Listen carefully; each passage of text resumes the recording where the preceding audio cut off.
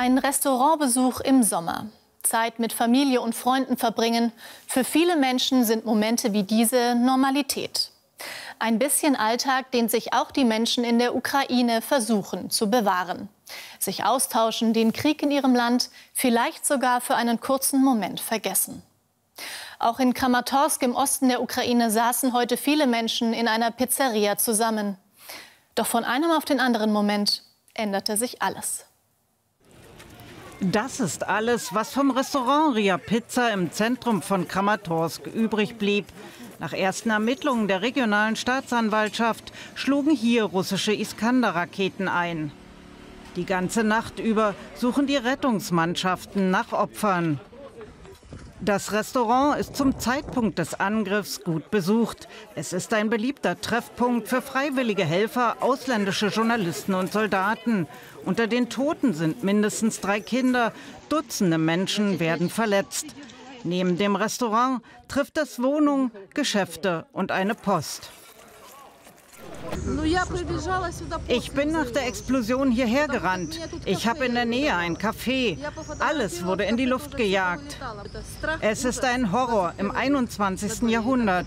Ich weiß nicht einmal, wie ich es beschreiben soll. Mein Sohn wurde im Krieg getötet und jetzt das. Wir saßen zu Hause und haben Fernsehen geschaut, als wir das Geräusch hörten. Wir dachten, es sei eine Rakete, die vorbeifliegt. Das ist hier ganz normal.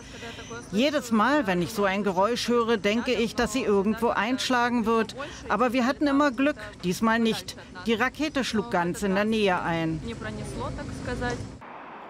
Aus Moskau heißt es, Russland beschieße keine zivile Infrastruktur. Angriffe werden nur auf Objekte ausgeführt, die in irgendeiner Weise mit der militärischen Infrastruktur zusammenhängen. Kramatorsk war vor dem Krieg eine Stadt mit 150.000 Einwohnern und im Krieg schon mehrfach Ziel russischer Angriffe. Die letzte Großstadt im Osten des Landes unter ukrainischer Kontrolle liegt etwa 30 Kilometer von der Front entfernt. Dort versucht die ukrainische Armee weiter, besetzte Orte zu befreien. Das Hauptereignis, so heißt es aus Kiew, stehe aber noch aus. Zu diesem Thema ist mir jetzt der österreichische Kriegsreporter und Journalist Christian Wehrschütz zugeschaltet. Hallo, Herr Wehrschütz. Guten Abend. Das Restaurant in Kramatorsk war ja gut besucht, als es angegriffen wurde. Die Bergungsarbeiten laufen weiter. Was ist der aktuelle Stand? Also mittlerweile geht man von elf Toten aus, darunter drei äh, halbwüchsige Mädchen, zwei 14-Jährige und eine 17-Jährige. Das, was äh, wir gesehen haben, und 60 Verletzte, etwa das, was wir gesehen haben und das, was auch ukrainische Medien schreiben, ist, dass dieses äh, Restaurant auch ein beliebter Treffpunkt von Ausländern war, und zwar von Ausländern auch offensichtlich von Ausländern, die äh, möglicherweise einen militärischen Hintergrund hatten und Instruktoren der ukrainischen Streitkräfte waren. Äh, es ist auch auf ukrainischen Telegram-Kanälen und klar, dass man zumindest zwei Kolumbianer dort äh, äh, verletzt hat oder dort drinnen waren. Der eine war ein Schriftsteller, der zweite soll ein Politiker gewesen sein. Das schreiben auch ukrainische Telegram-Kanäle. Aber äh, es ist natürlich nicht klar, ob das wirklich das militärische Ziel war, mit dem man dort angreifen wollte, oder ob das eine Rakete war, die fehlgeleitet wurde, die abgelenkt wurde, die überhaupt daneben gegangen ist. Das ist bei diesen Dingen immer sehr, sehr schwer konkret festzustellen.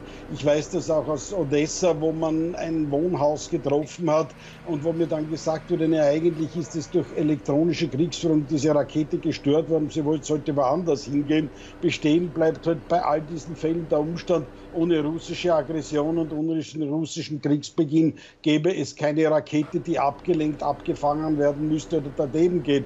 Und da liegt die Verantwortung in letzter Konsequenz eben immer bei Russland. Jetzt, Sie sagen, der Grund ist jetzt nicht ganz klar, aber Russland behauptet ja immer wieder, keine zivilen Ziele bewusst anzugreifen. Was denken Sie dazu? Naja, äh, erstens einmal lässt sich das nur, äh, was ist ein ziviles Ziel? Ist also zum Beispiel eine Trafostation ein ziviles Ziel oder ist ein ziviles Ziel wirklich nur ein Kaffeehaus?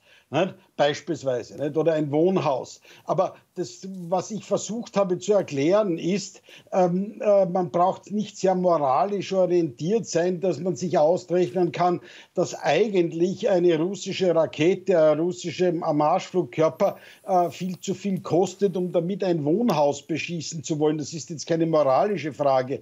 Aber das, was wir immer wieder hören, auch äh, meistens unter vorgehaltener Hand, dass äh, einfach daneben geschossen wird aus Entfernungen von ein paar hundert Kilometern, wo die Rakete abgefeuert wurde, oder dass die Rakete gestört wurde. Oder beispielsweise, Sie haben das Problem, äh, die Luftabwehr schießt eine Rakete oder eine Drohne ab und diese Trümmer treffen ein Wohnhaus. Das ist das, was immer passieren kann. Aber überprüfen lässt sich das nicht, ob man jetzt bewusst ein ziviles Ziel getroffen hat oder nicht. Das ist eine Überforderung von Journalisten. Lassen Sie uns auch noch auf die ukrainische Gegenoffensive gucken. Wie geht es da voran? Was wissen Sie dazu? Also wenn wir äh, davon ausgehen, dass diese Gegenoffensive am 4. Juni äh, gestartet ist äh, und wir jetzt mehr als 20 Tage haben, dann gibt es eine einzig große Unbekannte. Und diese große Unbekannte ist die Frage, wie hoch waren bisher die ukrainischen Verluste.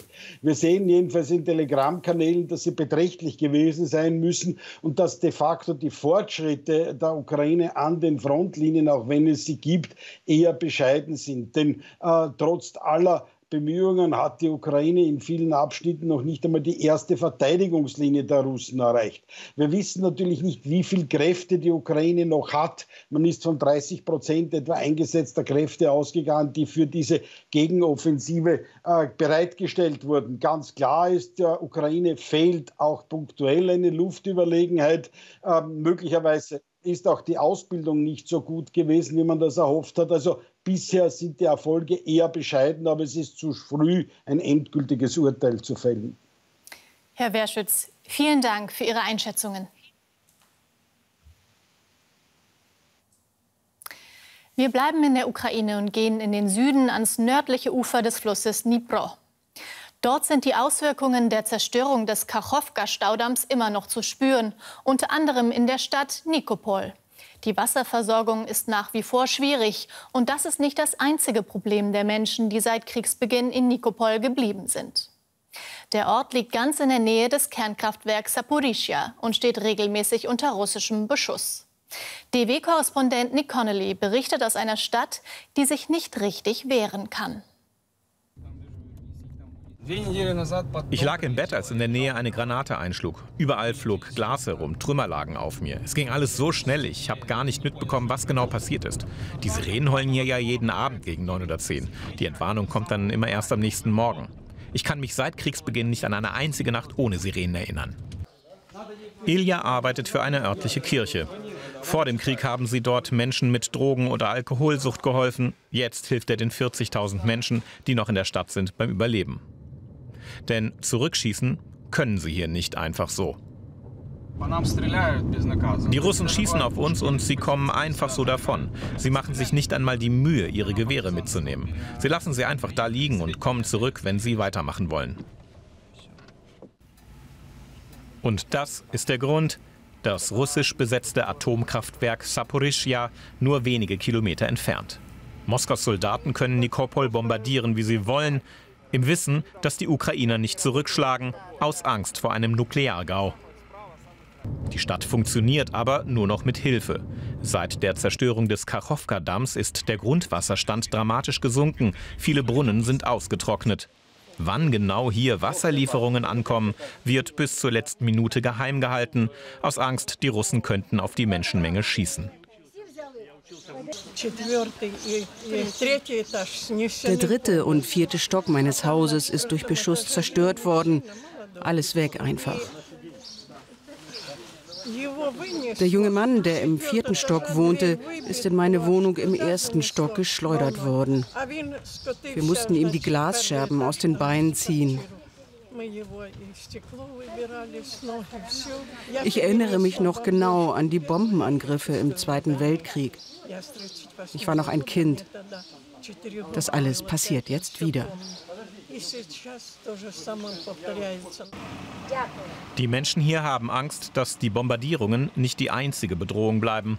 Die ukrainische Führung behauptet, Russland habe das Atomkraftwerk vermint und würde es sprengen, wenn die Gegenoffensive Saporischja erreicht. Jeder redet über das Atomkraftwerk, egal wo man hingeht, ob man Wasser holt oder einkaufen geht. Jeder redet darüber. Es ist wirklich beängstigend. Ich war schwanger, als Tschernobyl passierte und mein Sohn wurde deshalb behindert geboren. Wir haben damals hier in Nikopol eine Menge Strahlung abbekommen. Diejenigen, die jetzt schon 16 Monate hier ausgehalten haben, werden die Stadt wohl auch jetzt nicht verlassen. Wir haben junge Freiwillige, 20, 22 Jahre alt, die zu uns kommen, sogar aus den USA. Wenn die schon keine Angst haben, wie könnte ich welche haben?